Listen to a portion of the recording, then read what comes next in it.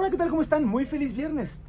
Apple está trabajando en una aplicación de inteligencia artificial generativa. Sí, así como ChatGPT por parte de OpenAI, Apple ha estado trabajando en una herramienta hoy conocida internamente como Apple GPT y se trata por supuesto de su intención de competir con plataformas de inteligencia artificial generativa como las que tienen hoy OpenAI, Google y otros. Vaya, Elon Musk recientemente se integró a la industria de la inteligencia artificial anunciando su nueva compañía.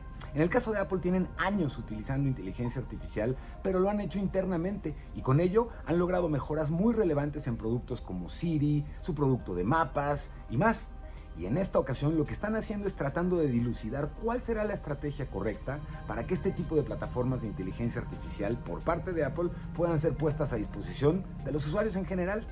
Por otro lado, hay una nota importante. La Comisión Europea ha aprobado una nueva serie de leyes para que estadounidenses puedan reservar y tener los datos de usuarios europeos sin mayor problema entre los servidores.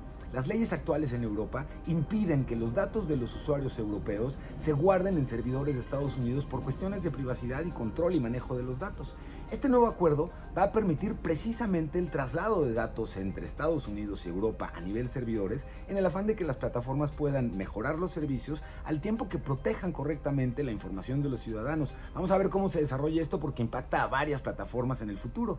Y finalmente, algo importante. ¿Se han sentido ustedes acaso distraídos, que escriben con más faltas de ortografía, que se les olvidan más las cosas, que incluso escriben un mensaje y no lo mandan por estar medio distraídos o preocupados? Pues bueno, se trata de un síndrome que acerca la tensión y el estrés que provoca el uso desmedido de dispositivos y que provoca estos, eh, este tipo de síntomas, incluidos además la falta de sueño, la falta de hambre y además un estado de ánimo no tan positivo como podríamos tenerlo. Y para ello es importante que consideremos lo siguiente, descansemos del uso de nuestros dispositivos. Que tengan un bonito fin de semana, soy Emilio Saldaña, El Piso y nos vemos aquí en Uno TV.